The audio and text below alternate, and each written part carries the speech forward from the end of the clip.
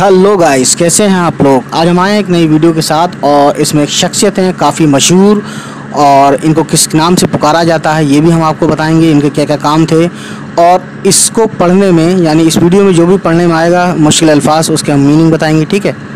या अगर मैं बताना भूल जाऊँ तो आप कमेंट में पूछ सकते हैं, ठीक? कभी भी, किसी भी वीडियो में, उर्दू भी ज़्यादा किसी भी वीडियो में आपको कोई भी चीज़ समझ में आए, बिल्कुल कमेंट कीजिए, आपको बताया जाएगा। चाहे वो कमेंट आप पाँच बार करें, चाहे दो बार करें। पाँच बार करेंगे, पाँच बार जवाब दिया जाएगा, परेशान मत होइए, और उनकी तरह नहीं है हमारा काम, ठीक है? मौलवी अब्दुल हक 1870 में ये पैदा हुए 1961 में ये दुनिया से चले गए। तो चलिए शुरू करते हैं इनको पढ़ना इनके बारे में। गाइस बाबाए उर्दू मौलवी अब्दुल हक, यानी मौलवी अब्दुल हक को बाबाए उर्दू कहते हैं। बाबाए उर्दू, मौलवी अब्दुल हक उर्दू ज़बान के उन शैदा शैदाइयों में से थे, यानी उन उर्दू के चाहने वालों में से थे, जिन्होंने अपनी सारी ज़िंदगी इस ज़बान की खिदमत में सर्फ कर दी। सर्फ यहाँ पे मतलब है ख़र्च, या पूरी ज़िंदगी लगा दी। वो कस्बा हापुड़ में पैदा हुए, जो कि यूपी में है यू नो बचपन ही से पढ़ने का बेहद शौक़ था। अट्ठारह में एमए किया एम ए सॉरी एम यानी कि Mohammedan Anglo Oriental college, Aligarh, जो कि इसका इस वक्त नाम है। अलीगढ़ मुस्लिम यूनिवर्सिटी, मुस्लिम या मुस्लिम मुस्लिम इंग्लिश में होता है, मुस्लिम अपनी लैंग्वेज में होता है, ठीक है। अलीगढ़ से बीए यानी कि बैचलर ऑफ़ आर्ट्स का इम्तहान पास करने के बाद पंजाब और हैदराबाद में मुख्तलिफ़ अहदों पर फाइज रहे, यानी कि फ़ाइज़ का मतलब है पोस्टिंग रही या वहाँ पे वो कायम रहे, उस अहदे पर रहे, ठीक है? उस्मानिया कॉलेज औरंगाबाद में बतौर प्रिंसिपल काम किया, यानी कि प्रिंसिपल के तौर पे रहे। उस्मानिया यूनिवर्सिटी में शोबा उर्दू के सदर। कहाँ पे? उस्मानिया यूनिवर्सिटी जो इस वक्त है है ना? हैदराबाद में ही है, ज़ाहिर है। उस वक्त भी थी, इस वक्त भी ज़ाहिर है। में शोबा उर्दू, यानी उर्दू डिपार्टमेंट शोबा बोलते हैं डिपार्टमेंट के सदर, यानी प्रेसिडेंट और प्रोफेसर रहे। ठीक है? अंजुमन तरक्की उर्दू के सेक्रेटरी मुकर हुए। यानी एक यू नो आप कह सकते हैं कि एक सोसाइटी कह लीजिए या कोई ऑर्गेनाइजेशन कह लीजिए, जिसका नाम है अंजुमन तरक्की उर्दू, कि वो सेक्रेटरी रहे मुकर हुए, यानी रहे या बने। और ज़िंदगी भर इस इदारे की, यानी इदारा बोलते हैं इंस्टीट्यूशन है ना? की तरक्की और कामयाबी के लिए जी जान से कोशिश करते रहे। ठीक तो बाबा उर्दू इनको बोला जाता है, मौलवी अब्दुल्ला को, बहुत फ़ेमस रहे हैं ये। अंजुमन की जानब से, यानी वो जो इंस्टीट्यूशन था, इदारा था, जानब से मौलवी अब्दुल हक को इदारत में, ठीक है, एक सह माही अदबी रसाला उर्दू जारी हुआ, ठीक है ना? यानी उस अंजुमन की जानब से और अब मौलवी अब्दुल हक की इदारत में, यानी कि एक तरह से उनकी देख रेख में और उनके एडिटरशिप में जो भी उनके अंडर में था, एक रिसाला, यानी मैगज़ीन शुरू हुआ, जिसका ख़ुद नाम था उर्दू।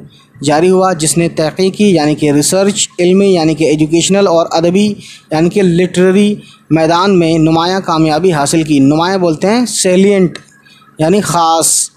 हैदराबाद यूनिवर्सिटी ने एल एल डी और अलीगढ़ यूनिवर्सिटी ने डी लिट की एजाज़ी, यानी कि एक तरह से एजाज़ी बोलते हैं, और एक तरह से अवार्ड के तौर पर या इज़्ज़त के तौर पर, जैसे कि पद्म भूषण वगैरह मिलता था ना, ज्ञानपीठ वगैरह, उसी तरीके से ये भी एक होता है डी लिट है ना?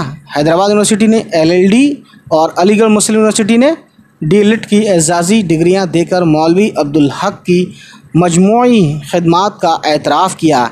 मजमू बोलते हैं, यानी जो भी काम सब मिलाकर, जो भी मौलवी अब्दुल हक ने काम किए, उर्दू को लेकर या उर्दू की खदमत में या उर्दू ज़बान के फ़रोग में, है ना, उसको बढ़ावे के लिए तो उनको ये सब डिग्रियाँ दी गई यूनिवर्सिटी की तरफ़ से उनके खिदमत को मानते हुए, उनके काम को मानते हुए।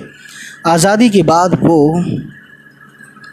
पाकिस्तान चले गए और कराची में उनका इंतकाल हुआ, ठीक? तो ये है इनकी ज़िंदगी का आखिरी लम्हा।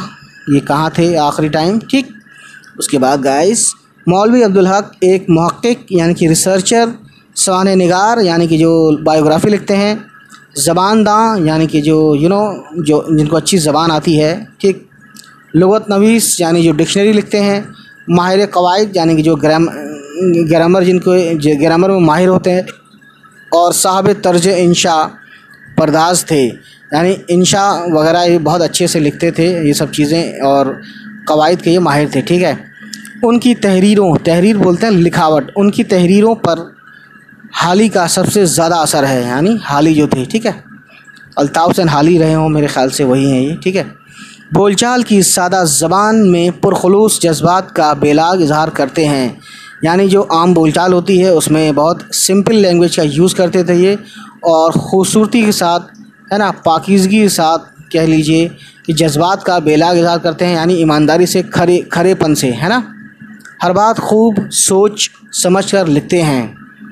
इबारत, यानी जो लिखी हुई, ये भी एक तरह से इबारत है, लिखी हुई चीज़ जो होती है, उसे इबारत बोलते हैं। इबारत में उलझाव नहीं, यानी कि कोई कन्फ्यूज़न नहीं।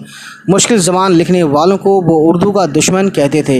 यानी जो उर्दू में थोड़ा सा टफ़ लैंग्वेज यूज़ करते थे तो वो उनको वो गलत समझते थे, ठीक है? और आसान ज़बान लिखने पर ज़ोर देते थे। यानी ऐसी ज़बान बोलो उर्दू वाली ही जो ईज़िली सबके समझ में आ जाए, ठीक? उर्दू अदब में कदीम किताबों की तदवीन तदवीन का मतलब मैं आपको बताना चाहूँगा एडिटिंग जमा करना या इधर उधर से छाँट कर लिखना, ये सब। तदवीन यानी किताबों का ज़ाहिर है, जमा करते हैं, लिखते हैं इधर से टॉपिक कुछ टॉपिक यहाँ से कुछ अलग अलग सब जमा करते हैं तो तदवीन बोलते हैं इसको एडिटिंग तरतीब तरतीब यानी कि एक के बाद एक सिलसिलेवार, है ना? और तरीके से मैनेज करना चीज़ों को, ठीक? और इशात यानी पब्लिक पब्लिकेशन ठीक है? यानी कि छपवाना, उनका बहुत बड़ा कारनामा है, ठीक है? इन सॉरी उन किताबों पर, इन सभी जो भी उनकी किताबें थीं, पर उनके मुकदमात मुकदमात बोलते हैं यू नो जो शुरू में तमीद वगैरह जो स्टार्टिंग में होता है ना कि ये हाँ वो सब चीज़ें, और ये बुक इस तरीके से है, इसके बारे में ये सब, जो भी चीज़ होती है, उसे मुकदमात बोलते हैं, ठीक है? क्या बोलते हैं? मुकद मुक, एक होता है मुकदमा ठीक है? एक होता है मुकद मुकदमा तो ये मुकदमात है यानी कि दयाबचा या आगे जो तमहीद या, या स्टार्टिंग में जो लिखते हैं है ना? उर्दू किसी बुक में शुरू में जो होता है मुकदमात है ना? उसे बोला है। तो मुकदमात उर्दू अदब का कीमती सरमाया हैं है ना? उर्दू अदब यानी कि उर्दू लिटरेचर और कीमती तो जानते हैं आप सरमाया यानी एसेट्स एसेट्स ठीक है? दौलत कह सकते हैं आप इसे। अंग्रेज़ी उर्दू लगत। लगत बोलते हैं डिक्शनरी को, यानी उर्दू अंग्रेज़ी टू उर्दू उन्होंने डिक्शनरी और उर्दू ज़बान के, यानी कि कवायद मतलब ग्रामर का बुनियादी काम भी मौलवी अब्दुल हक की कोशिशों का नतीजा है।